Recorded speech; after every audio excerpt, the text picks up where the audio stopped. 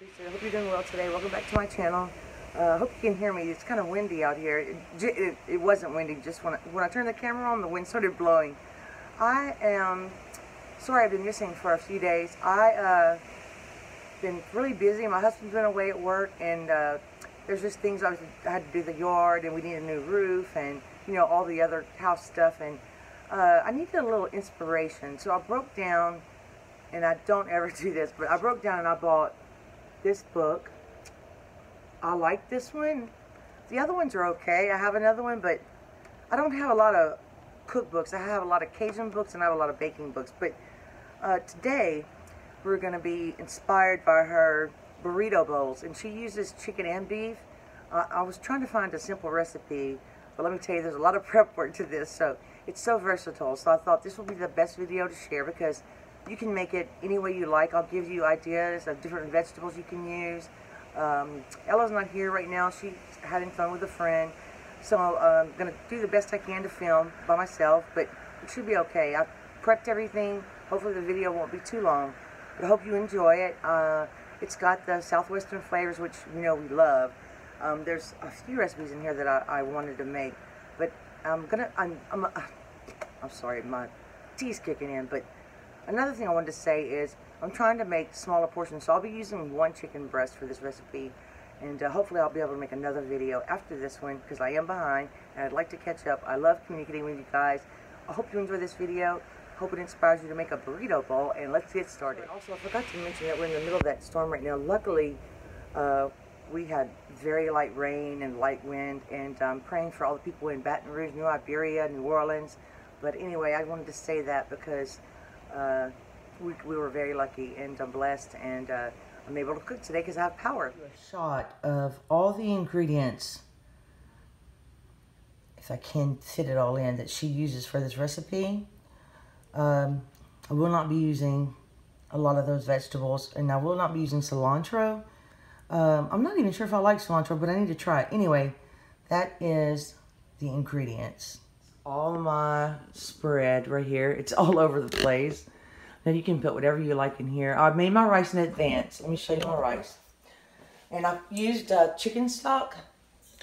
And I, I, put a little bit of lime zest in here and a little bit of lime juice. And uh, I just made, I used medium grain rice. She calls for long grain rice and she cooks it on the stove.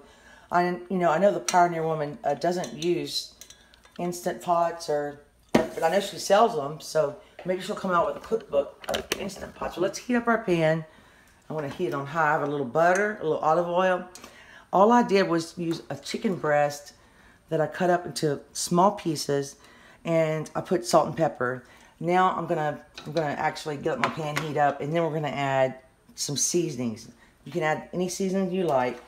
Another thing I'm gonna start is this pot back here, if you can see this pot, um, it calls for uh, queso dip if you want, or you can just use shredded cheese or both. Or, but I have uh, some Velveeta cheese. I think I'm gonna I'm gonna use, and I'm this is I love this salsa. You could use Rotel, uh, just diced tomato, chili, Mexican Rotel, whatever you like.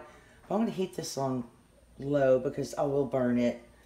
I'm gonna turn this one on high, and uh, I'm just gonna just pour in. I kind of I hate when it gets on the edge like that. I kind of just eyeball a little bit and I have a, a, a couple of, I like to buy that Velveeta that's in the blocks.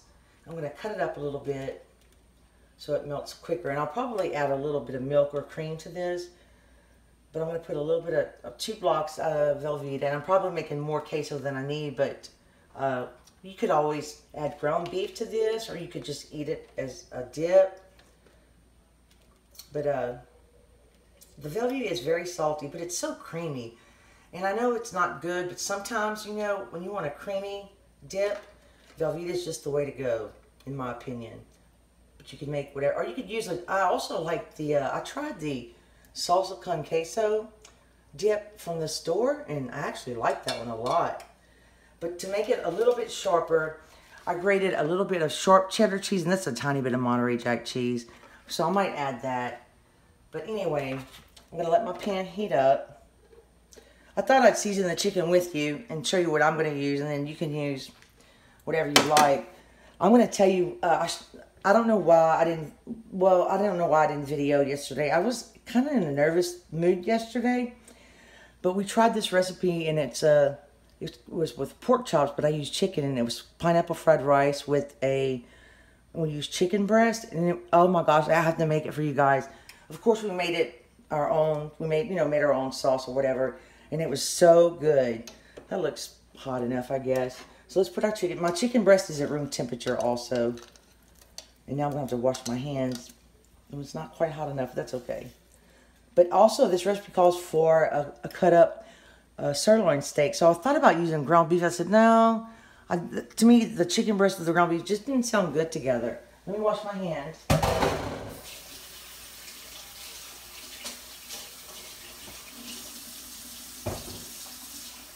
Calls for a lot, a lot of uh, protein. I like a lot of protein. You can put shrimp in here. I'm just to stick with chicken. Like I said, I'm trying to make smaller recipes. And my other option was going to be a salad. And we already made the dressing for that, but I changed my mind again. It's like I can't make up my mind lately.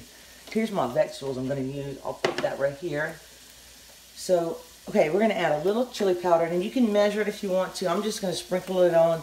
But I'm going to put this on the chicken and the vegetables.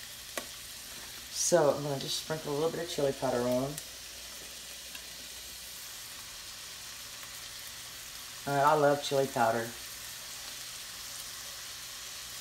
And depending on how strong you want the, the, the flavor, this chili powder is not uh, spicy, by the way.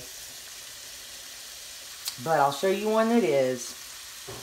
You just cover that well. This, I showed you guys this before. This stuff let me give you a close-up. It's so hot. We're going to put just a tiny sprinkle on here. Because, of course, you know I'm going to have some chopped jalapeno in here. I'm going to put, I mean, like, not even a fourth of a teaspoon. I'm like a light, light sprinkle. And, of course, uh, some ground cumin. And you could also just add cumin. And I'm not following her ingredients because I know what I know what we like. So you kind of just basically just use what, whatever you like. And I also like a little smoked paprika, especially for color. I love paprika. And I need to get another, turn that down a little bit in the back. Yeah, I've kind of been all over the place lately. A little garlic powder. This is the roasted garlic powder, which I love.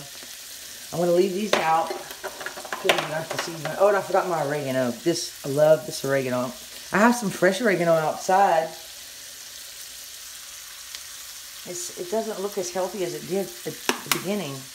All right, let's stir our cheese back here. So let me sear this a little bit and uh, add a little cream to this and I'll be right back. Uh, half and half. I actually have a lot of heavy cream and I kind of need to use a little bit. I'm going to give this a stir. You have to be careful with cheese. It will scorch. I'm just going to add just, just a little bit. I should have smelled it first. No, it's still good. Heavy cream lasts quite a while. You can make it as creamy as you like. And I will say this salsa is a little bit spicy, so I hope I'm not overdoing it today. But the rice should mellow it out. Uh, let's give this a stir. This smells so good already. And this chicken is going to take just a minute to cook. Because it's, uh, it's, what I did was, I actually, when I bought the chicken breast, I cut them in half normally stick together. I had a white shirt on, but I changed because I'm so messy lately. So basically, I'll show you. Let's go ahead and add our, and this is the lime I used. I saved it to show you how I used the fresh lime. Let's add this. This just adds a little bit more flavor.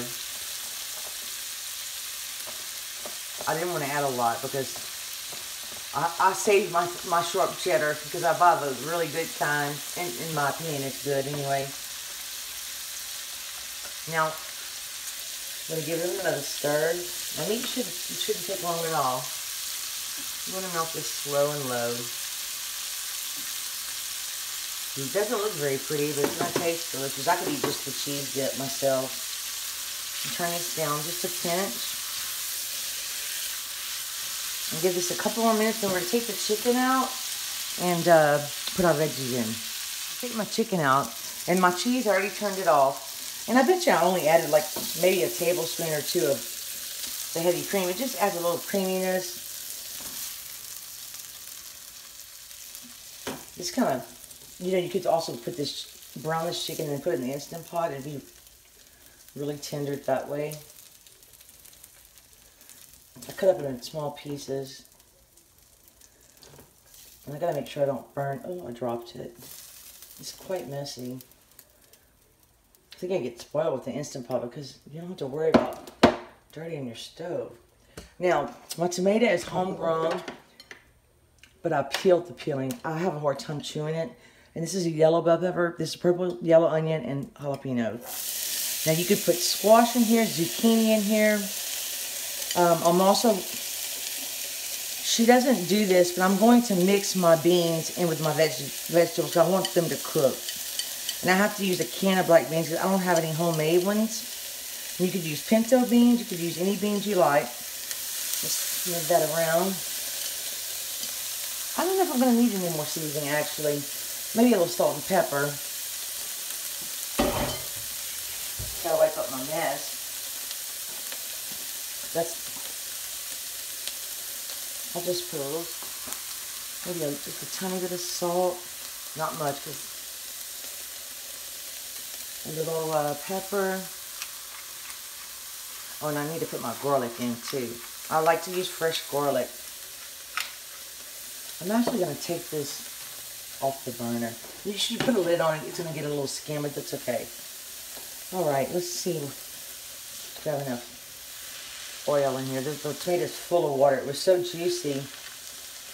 I have a collaboration video that I have to do. That, that tomato is supposed to be used for, but I'm going to have to buy some more. This, oh, oh, by the way, this tomato did not come from my garden. We had a hailstorm not too long ago, and it just tore our plants up. And uh, so I'm, I think I have one tomato growing right now.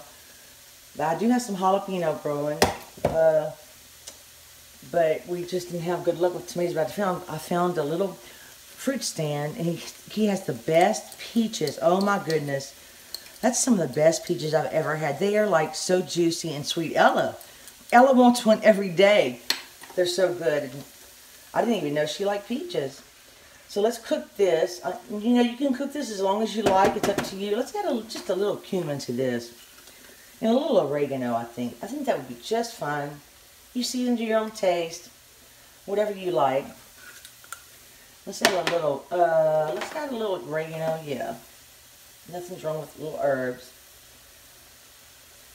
And I think I'm going to add just a little bit of roasted garlic powder. And I'm going to cook these for a minute, clean up my mess, and uh, cooking really good, really well, really well. And this is the bean I'm going to use. It's a Ranch Style buckwheat. And I know a lot of people rinse them. I'm just and, and also, she rinses them and puts them separate. I'm just throwing it all in together. I want to cook the uh, the skins. I don't really know if I'm going to use them all either. Let's see what this looks like. Oh, and I forgot to mention the corn. Now you could use fresh corn. I have some frozen corn I need to use. I think I might keep that one separate. I love, uh, but I'll tell you one thing. I did taste the beans. I do like the ranch style flavor, but it does need a little salt. So we're going to add a little salt, because beans definitely need salt. I could eat this over rice, I'm telling you. Oh, pretty soon I will be making large lima beans. I haven't made that yet. I haven't made those in years, actually. In the Instant Pot, and lima beans are our favorite. So I thought I'd give it a go. Heat that up. Let's see. I don't know if I should keep the rest of the beans separate. I think I am. I think I'm going to turn this off. I think this looks great. It's a little wet, but that you know you're going to have rice anyway, so this is going to be my style of a burrito. Let's turn this off, let it cool a little bit.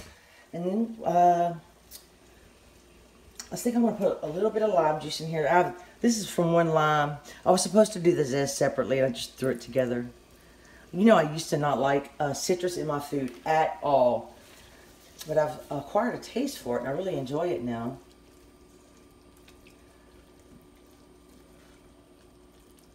I guess we should give this a little taste.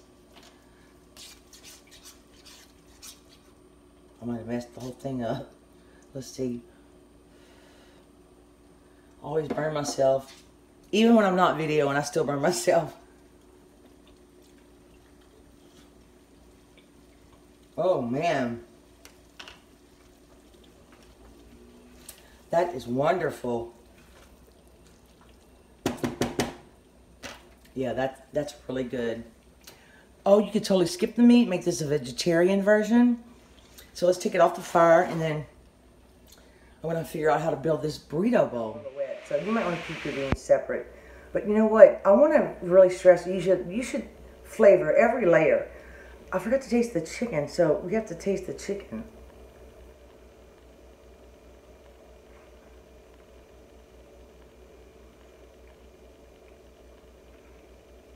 The rice is gonna have flavor. The corn has salt and pepper. The rice has chicken stock, so I didn't put salt. But it has lime juice and lime zest. This is good, but it's not it's not salty at all. It's I really probably could add a little bit more salt, but we have that cheese, so we don't need to. So I'm excited. I love this kind of stuff, and uh, I've always wanted to make one. I think there's a glare everywhere I go in, in my kitchen. I, am really sorry. I, am going to try to work on that. Uh, I wanted to mention that, uh, I think it was a couple weekends ago, they had Bayou Bash in Lake Charles, Louisiana. I didn't know about it until it was almost over, but I got a chance to go to see, I met Two Family Homestead, which I love their live streams, and uh, also met some other homesteads. Uh, some nice, nice people. I mean, just great people. It was so much fun meeting and talking to other YouTubers, and then some were just homesteaders. But um, I met this one was from Capitol, Louisiana, and uh, I forgot the name of their homestead, but I got fig preserves. I can't get figs anymore, and this is my favorite. Um, let me know if you like fig cake. And I got a strawberry jam, because I didn't make any this year, from McClendon Homestead. I'm so sorry I don't remember everybody else's names. I should have had a pen and paper with me when I went.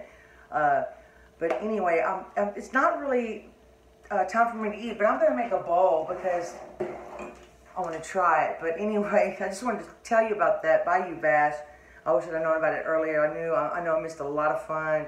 Uh, I got to, you know, missing a, a lot of people, uh, to meet a lot of people that also do YouTube and to learn from. And Two Family Homestead gave me, just in the short amount of time that I got to see them, gave me some great tips about things I should do for my channel. And I also wanted to say that I am so grateful it seems like a little bit slow, but it doesn't matter. I'm having so much fun. I have met so many nice, nice people. This has been the biggest blessing in my life. You just don't know. Uh, and I love, love to cook. I just had a little trouble this week with with inspiration. I don't know why. I just, I guess you, you know, you have art blocks. I had a cooking block. But uh, I love cooking. It's my passion. I love baking. Um, I, I, it's just, it's so much fun. But, oh, I can't even remember what I wanted to say. I'm so sorry. And if you like, like just click off of me if I'm talking too much. If you can't take it, I understand. But uh, I'm almost to 2,000. So I'm so excited. So share my video if you don't mind. If you want to. If you don't want to, that's okay. I totally get it. But uh, I'm so close to 2,000. Just spread the word. Tell your friends. And if they like home-style cooking, Cajun cooking, just simple cooking, just tell them to view my channel. But uh, anyway, I wanted to say thanks to everyone that has subscribed. And uh, the people that have been with me for a long time. I love you guys. It's amazing. Uh, it's just a blessing, and I'm so grateful. So thank you. So let's take a bite of this burrito bowl. I think I'm going to try to show you how I'm going to make it. It's going to be hard, but uh, we'll get it. Close the camera, but that's okay. I only have, I can't put anything on the stove over here. It's still hot. So let's start with a little rice. And by the way, I added more lime and parsley.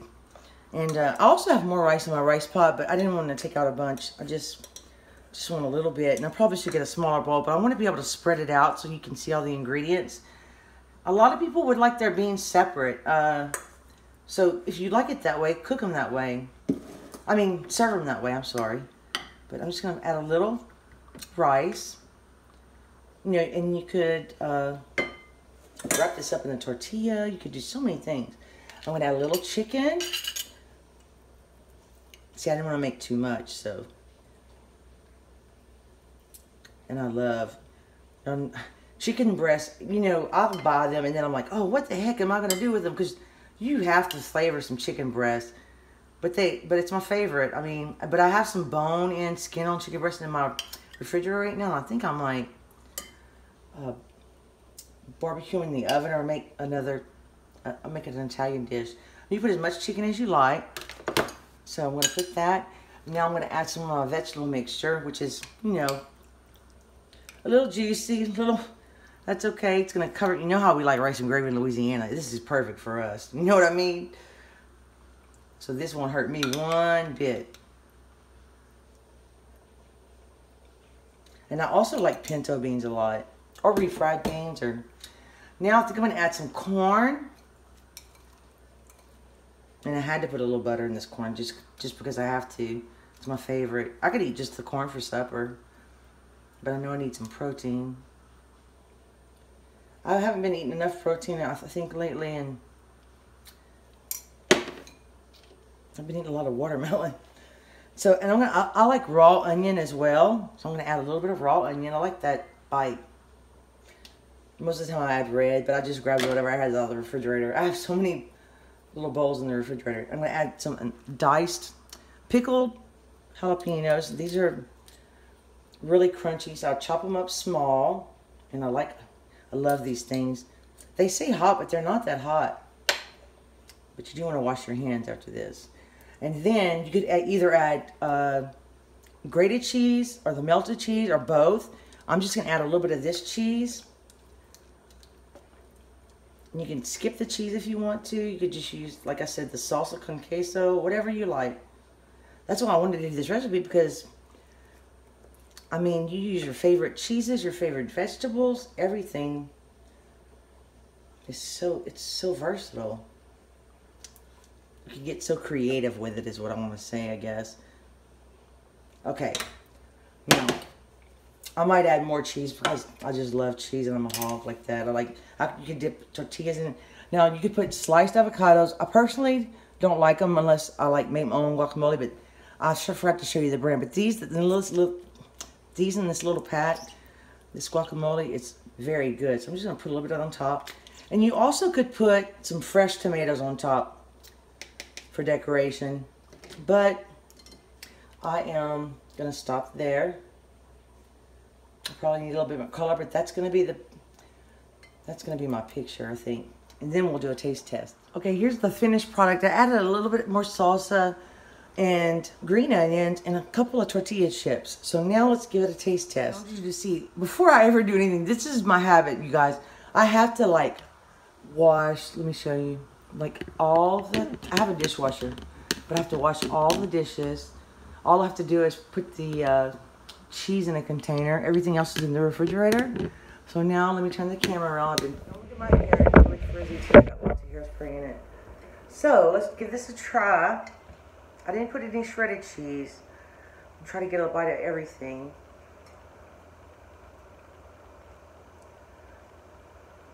A little Let's see. Okay.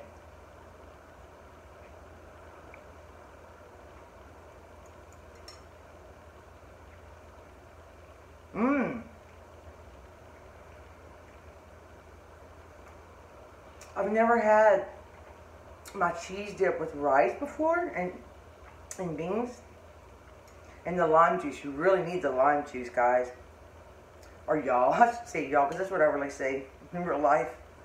Sometimes I try to say the other word. It's pretty good. I would make it again. I really like it. Um, it even it would be even delicious without rice with tortillas. I mean, there's so many things you can do. But anyway, I know this video is going to be too long. Thank you so much for watching. Please subscribe if you haven't, if you like all kind of recipes. I know I need to bake something soon. It's been a while. Especially bread. But thank you so much for watching. Please subscribe. Um, hopefully I'll be back soon. And uh, everybody have a great day or night. Whenever you're watching this, come back and see me. And uh, I'll see you next time. Bye.